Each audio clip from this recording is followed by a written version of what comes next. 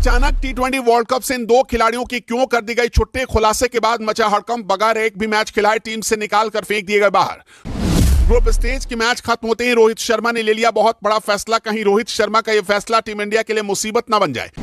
Super eight में मज़बूत टीमों से भरेगी टीम इंडिया। कहीं गलती से अगर टॉप ऑर्डर का कोई भी बल्लेबाज हो गया चोटेल तो फिर क्या होगा?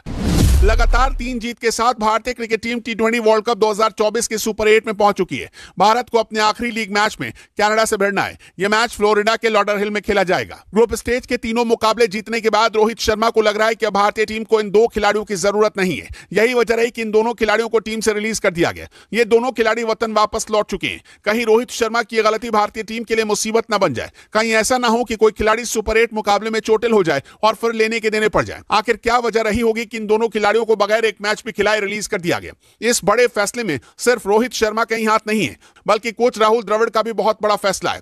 बीसीसीआई ने आखिर यह फैसला क्यों लिया? आखिर क्यों इन दो भारतीय दिग्गज खिलाड़ियों को भारत देश लौटना पड़ा? सब कुछ हम आपको आगे रिपोर्ट में बताएँगे। दो ऐसे खिलाड़ी जिन्हें बीसीसीआई ने रिज़र्व प्लेयर के रूप में टीम में शामिल किया था। शुभमन गिल और आवेश खान को रिज़र्व प्लेयर के रूप में भारतीय टीम में जगह मिली।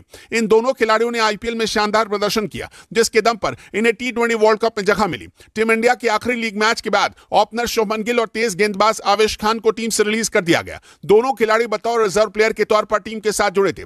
बीसीसीआई ने टी वर्ल्ड कप के लिए पंद्रह सदस्य स्क्वाड के साथ चार रिज़र्व खिलाड़ियों को भी चुना था, जिनमें रिंकू सिंह और खलील अहमद के साथ गिल और आवेश खान भी थे। यह समझा जाता है कि टीम प्रबंधन सुपर आठ चरण में चार स्टैंड बाई को ले जाने की ज़रूरत नहीं समझ रहा। ऐसे में इसलिए केवल रिंकू सिंह और बाएँ हाथ के तेज मध्यम खलील अहमद कैरेबियाई चरण के दौरान टीम के साथ होंगे। इस घटनाक्रम की जानकारी रखने वाले बीसीसीआई के वरिष्ठ सूत्र ने गोपनीयता की शर्त पर पीटीआई भाषा को बताया। शुभमन गिल और आवेश खान को केवल अमेरिका में ग्रुप लीग चरण तक ही रुकना था। यह पहले से तय था। इसलिए आयरलैंड के खिलाफ मैच के बाद उन्हें टीम से रिलीज़ कर दिया जाएगा। शुभमन गिल और आवेश खान को टीम से अलग करने का तर्क बहुत सीधा है। कप्तान रोहित शर्मा या स्टार बल्लेबाज विराट कोहली अगर चोटिल होते हैं तो टीम के पास यशस्वी जायसवाल का विकल्प है। ऐसे में चौथे सलामी बल्लेबाज की ज़रूरत नहीं है। गिल ने न्यूयॉर्क में सबसे ज़्यादा बल्लेबाजी अभ्यास नहीं किया, जबकि रिंकू ने नेट सत्र में काफ़ी समय दिया। रिंकू के पास मध्यक्रम में किसी भी खिलाड़ी की जगह लेने की क्षमता है। टीम प्रबंधन का मानना है कि तीन तेज गेंदबाज के साथ हार्दिक पांडे और शिवम दुबे की मौजूदगी के कारण